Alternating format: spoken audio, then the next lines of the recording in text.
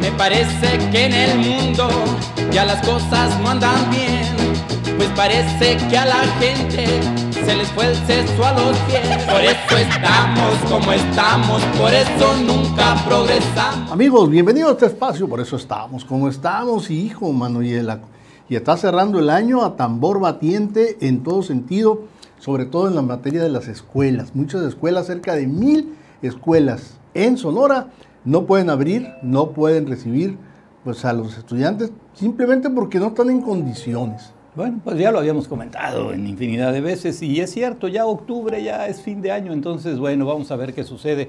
Pero es un hecho, ¿eh? O sea, la clase presencial no tiene nada que ver con la clase virtual. No, No. hay como estar ahí presente, así vayas una hora, dos horas, tres horas, pero estar presente es donde los niños, los jóvenes, aprenden, ¿eh? ¿sí? No, ahí pues- nomás. No, pues en la semana el propio presidente dijo, señores, ya, las escuelas, ya, para que aprendan, dice, no estén de comodinos.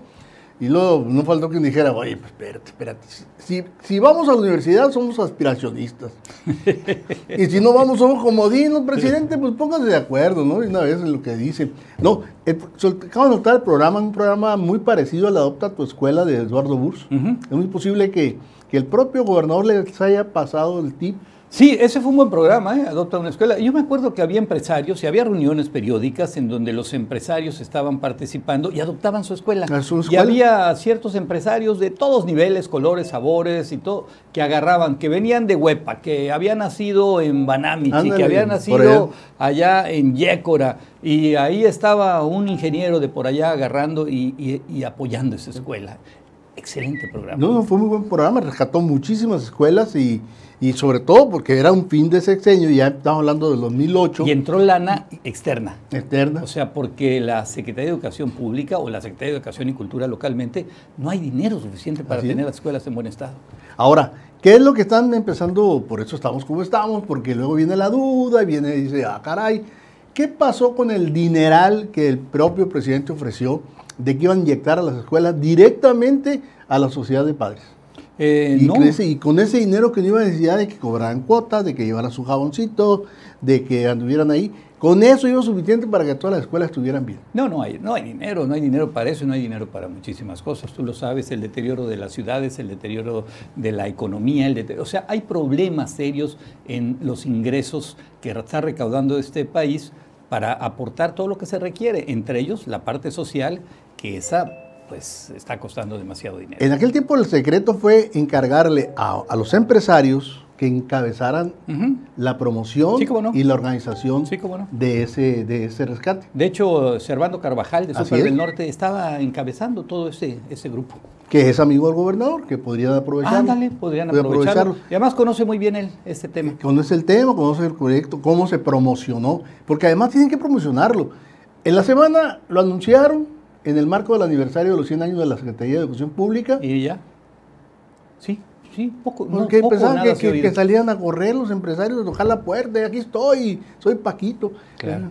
Entonces vamos a ver qué sucede. Ojalá, ¿eh? porque hay mil escuelas que no se han podido abrir y no se van a abrir. A ver, digo, con respeto al auditorio, eh, ¿qué va a hacer el PRI con la reforma eléctrica? ¿Se irá a bajar los eh, unas baldías? eh, ¿O este, dará un cheque en blanco? El PRI está entre la espada y la espada. O sea, no es la pared, entre la espada y la espada. Si dice que, si vota a favor de esa reforma, el PRI se muere, porque el poco prismo que existe va a decepcionarse aún más. Si el PRI dice que no, el presidente López Obrador se va a encargar de que se muera también, porque le va a achacar todos los males. Mira lo que tengo aquí. no, hay, ve. no hay dinero para las escuelas, el PRI. El PRI. No hay dinero para esto, el PRI. Oye, la luz no ha bajado, el PRI. Y, ahí díganle que no. Y ahora, y ya les los puso un predicamento, escojan, o ser como de los 90, como los Salinas, dijo, o ser como los 30, como Lázaro Cárdenas. Don Lázaro Cárdenas. Lázaro no, no, pues es una vacilada eso. México es otro país y no tiene nada Pero que además, ver. deja tú, oye, la reforma eléctrica que hubo, nacionalización no lo hizo Lázaro Cárdenas de la Además. electricidad, lo hizo López Mateos. Sí, sí, sí, además, además, Ahí se equivoca. antes. Ahora, está muy presionado. Según Alito Moreno, dice que al PRI no lo presiona nadie, que a los priistas no los presionan ni los empresarios ni el gobierno, nadie. Alito no lo presiona a nadie porque él ya sabe qué va a hacer. y ya sabe con quién está y a quién se entrega y a quién se vende. Pero bueno, la gente, los mexicanos, los están viendo, ¿eh? Aguas que tomen una decisión equivocada. Aguas. Ahora dice que, que van a extender un cheque en blanco. Necesitan, creo que de los 70 diputados del PRI, creo que necesitan treinta y tantos para ser la mayoría calificada. Y.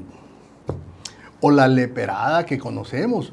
Ay, no pude ir porque me dolía una uña. Ah, sí, sí, sí, Ay, sí. Me dolió el estómago dolió el y me quedé en- Ay, en la casa ahí. este. Entonces el quórum ahora es de solamente necesitamos 100. Aquí estamos, de pura casualidad. No, hombre, esas, esas paramayas ya los inventaron. Bueno, por eso estamos como estamos. Por eso estamos como estamos.